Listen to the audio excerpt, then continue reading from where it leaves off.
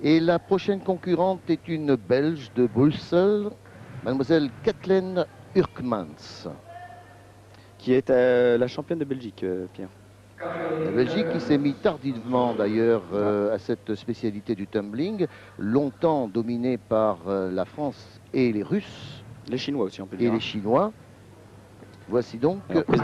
Ah, alors là, alors là, Mmh. voilà, c'est eh ben, c'est dur pour elle parce que c'est zéro, Pierre. Zéro et des larmes bien de déception pour euh, Kathleen Urkmans qui n'a pas pu prendre son élan. Regardez, Alors ça, c'est- Pascal, c'est terrible. C'est terrible. son impulsion. C'est terrible parce que l'on voit que ça, ce genre de choses n'arrive jamais quasiment. Donc elle n'a pas eu de chance. Elle a, elle a dû certainement avoir des problèmes au niveau de ses marques au départ et, et elle s'est perdue, entre guillemets.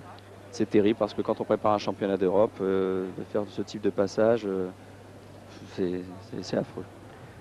Et oui, Kathleen Urkmans, coltée d'une note de zéro euh, sur son seul passage. Il faut dire que c'est un combiné entre euh, les Stopérilleux et les Vrilles, puisque dans le championnat d'Europe A, je crois qu'il y a une Là, autorisation exceptionnelle. Ça, c'est c'est vraiment très sympa. Anne, attendez. Oui, oui, oui. Elle est autorisée à reprendre le concours alors qu'un juge vient lui signifier. C'est bon Oui, elle est autorisée à exécuter son passage. C'est très très sympa. Moi, je trouve ça très très sympa. Mais est-elle aussi concentrée? Euh, C'est moins sûr.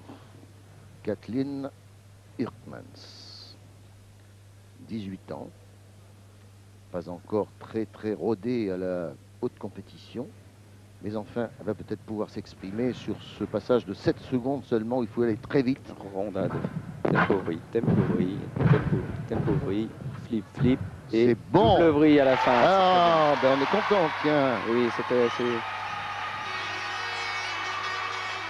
Ça aurait été dommage bien sûr. de ne pas voir la Belge Hurkman s'exprimer, d'autant qu'elle réalise là, Pascal et Ouzan, une bonne série. Oui, tout à fait.